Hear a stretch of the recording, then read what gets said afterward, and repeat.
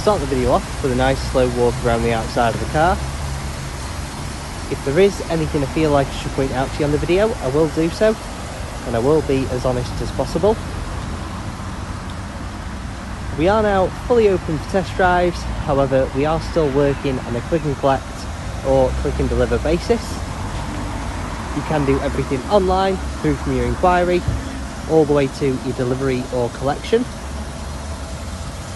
We are open all the way through the week 7 till 7 on our WhatsApp number, which is 07407 730 749, or you can catch us on the landline on 01270 500 999. My name is Tom and my colleagues Andy and Simon will also be here to help you out the best way we can.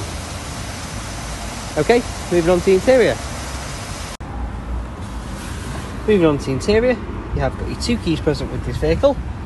You've got your steering wheel controls for your radio. Your touchscreen radio in the middle with your built-in sat nav. And you have got USB port and AUX port for your phone as well. You have also got your air conditioning and cruise control. I will show you around all the seats inside the vehicle as well so you can see the R3 from any rips or tears. If there are any rips or tears in any of the seats in any of the vehicles that we do have for sale, we do have a guy that does come around and fixes all of them for us. We've got three rear seats at the back with your three seatbelt ports, and they do have Isofix fitting as well. You've got your 60-40 split folding seats in the back. I'll just give you a quick show of the boot car, but just so you can see it is free from any pet hair or anything like that. The parcel shelf is present with this vehicle also. We'll just give you a quick view of the rear seats just from this angle, just so you can see them a little bit better.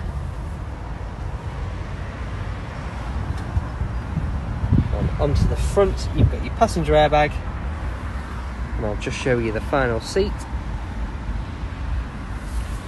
This car does have one former keeper from new and it is due to be MOT'd and serviced up at our workshop in Willaston.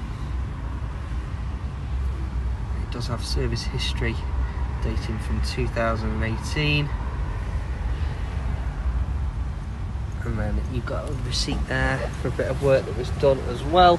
We are due to stamp the service we do inside the book as well. If anyone does have any questions on this vehicle or any other vehicle we do have for sale, please feel free to give us a call or a message and we'll be more than happy to help you out the best way we can.